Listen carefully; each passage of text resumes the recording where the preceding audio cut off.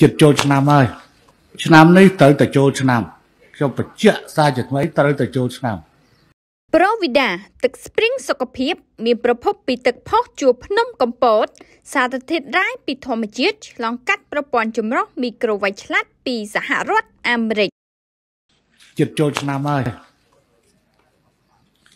ឆ្នាំនេះត្រូវតែចូលឆ្នាំខ្ញុំបញ្ជាក់សារជាថ្មីត្រូវតែចូលឆ្នាំ ហើយក៏សូមបញ្ជាក់ផងដែរស្រាប់តែថ្ងៃមុននាំគ្រាផ្អើលពេញមកប្រទេសថាលោកហ៊ុនសែននឹងបើកអាប្រាក់បៀវត្តខែ3ហើយថែមមួយខែ4ទៀតតើមានឃើញទេមានមានមានឃើញអាអាហ្នឹងទេ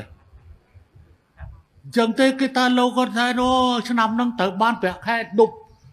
បកកើនដល់ប្រាក់ខែខែ3ហើយមានអាខែ4ឯងមានអាស្អីឯណាទៀត អត់ទេអាហ្នឹងបង្ហោះតាំងពីនោះដូចឆ្នាំ2020ឬ2019ឬថានោះស្រាប់វារស់ហោះមកឡើងវិញទៅមកចាំស្អីកូនខ្ញុំហ្មងដបង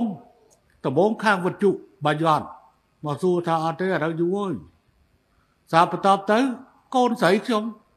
គឺថាពុកថ្ងៃពុកបើកប្រាក់ខែអញ្ចឹងខ្ញុំត្រូវព្រោះ ខាងបាយ័នគេឧបត្ថម្ភឧបត្ថម្ភបុគ្គលិករបស់គេដែរគេគេឧបត្ថម្ភបុគ្គលិករបស់គេ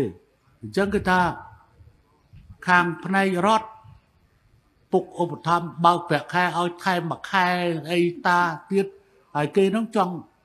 ឧបត្ថម្ភចំពោះបុគ្គលិករបស់គេមកសួរថាអត់ទេកូនអានឹងតាំងពីប្រហែលឆ្នាំមុន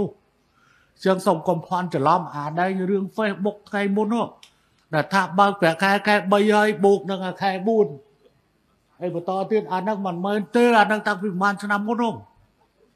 តែមិនដឹងយ៉ាងម៉េចអា Facebook នេះយូរយូរចេញមកមួយដល់ជុំវាវាចេញមកវាចេញចេញចំអាចេញចំអាកន្លែងដែលគួរឲ្យគេវិញបង